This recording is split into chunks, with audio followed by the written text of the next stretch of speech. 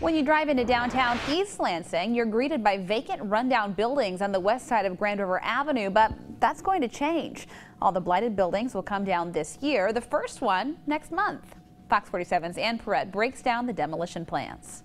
What was once a small bank has stood vacant for 10 years now.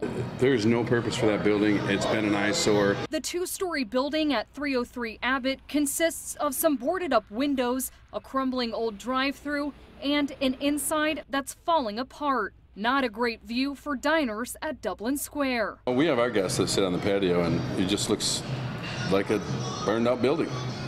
Um, we have a few of them, so I think it's yeah, I think it's a great thing that it's coming down. General Manager Dan Tyler says the demolition is long overdue. If we stand still, we go backwards. And right now, I think the city of East Lansing for the most part, is standing still. But City Council says they haven't had a choice because whoever owned what was also a bank on the corner of Grand River was tying up the previous deal. And that has finally been sold to a new developer who has plenty of resources to develop. So we're optimistic that something will happen in the next couple years. Once the building is demolished, this property will actually be split into two parts. This section on Albert will join the road to straighten it out, and the other half will most likely join the development of the building on the corner. Hopefully they're going to build things that we want, things like retail, restaurant, um, hotel. I don't think it matters.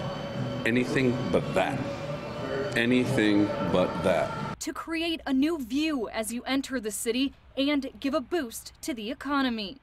In East Lansing Ann Perret, Fox 47 News.